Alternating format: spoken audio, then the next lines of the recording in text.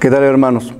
Soy Alberto Hernández, párroco de la Iglesia de Nuestra Señora del Perpetuo Socorro. Durante hoy jueves 28 de enero vamos a meditar el Evangelio de Marcos en su capítulo 4, versículos del 21 al 25. En aquel tiempo Jesús dijo a la multitud, ¿acaso se enciende una vela para meterla debajo de una olla o debajo de la cama? No es para ponerla en el candelero, porque si algo está escondido es para que se descubra, y si algo se ha ocultado es para que salga la luz. El que tenga oídos para oír, que oiga. Siguió hablándoles y les dijo, pongan atención a lo que están oyendo. La misma medida que utilicen para tratar a los demás, esa misma se usará para tratarlos ustedes y con creces. Al que tiene, se le dará. Pero al que tiene poco, aun eso poco, se le quitará. Palabra del Señor. Es importante notar que esta parábola está después de la palabra del sembrador que escuchamos el día de ayer. Así es que tanto la parábola del sembrador eh, como la de hoy nos habla de dos cosas muy importantes de nuestra vida escuchar y de ver. Escuchar la palabra, más que escuchar, es saber escuchar y por otro lado, ver la luz que se coloca en un lugar estratégico. En el Evangelio de hoy, Jesús empieza lanzando una pregunta retórica. ¿Acaso se enciende una lámpara para ponerla debajo de una olla o debajo de la cama?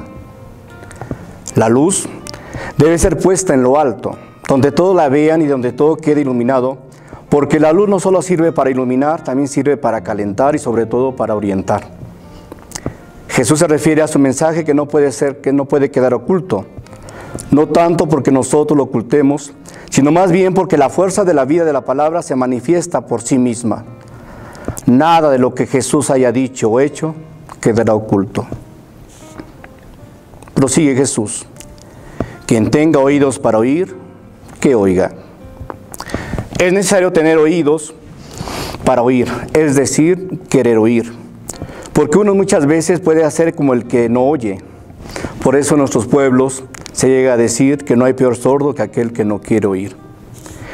Es necesario este, entonces estar abiertos a que la palabra haga un proceso en nosotros, pero debe ser la palabra la creadora de procesos, no nuestros intereses personales. Cuando uno se abre a la palabra, entonces está en la posibilidad de dar los frutos que nos hablaba ayer el Evangelio. Pero aquí surge una pregunta. ¿Será lo mismo frutos que resultados? Al menos en los Evangelios son cosas muy diferentes. Los frutos los generan procesos que surgen de escuchar la palabra de Dios y no siempre logra verlos a quien trabaja, quien los trabajó. Unos siembran y otros cosechan. Los resultados son simultáneos a quienes ejecutan las acciones. De ahí que los resultados casi siempre guarden relación con ciertos protagonismos o exhibicionismos de las personas, no así los frutos. Qué triste es que en nuestras comunidades y en nuestra iglesia se den más importancia a los resultados que a los frutos. Se den más importancia a resultados económicos y no tanto a frutos evangélicos que surgen de escuchar la palabra de Dios.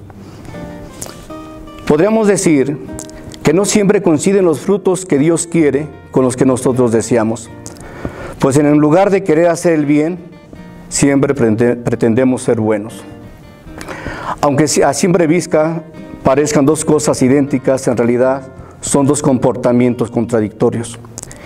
Y es que cuando alguien desea ser bueno, su principal interés está en relación a lo que le provoca sentirse bueno.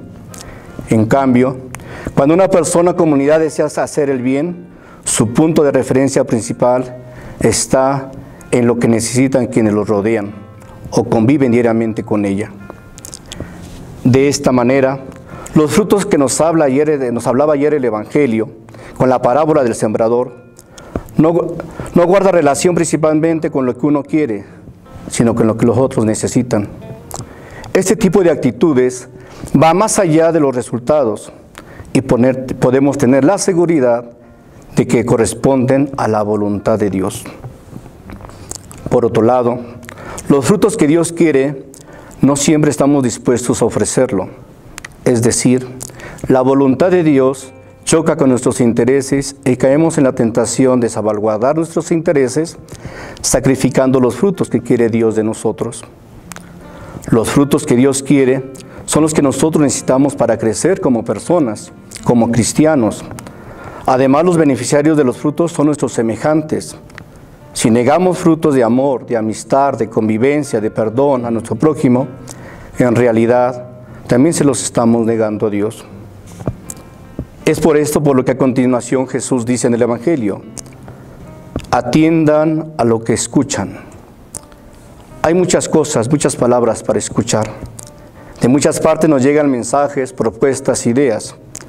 A nosotros, en el ejercicio de nuestra libertad y movidos por la gracia, nos toca seleccionar aquello que nos ayude a hacer que la vida y obra de Jesús produzca mucho fruto. Así que, queridos hermanos, la palabra de Dios, cuando uno la encarna, es esa lámpara que se pone y que ilumina a los demás.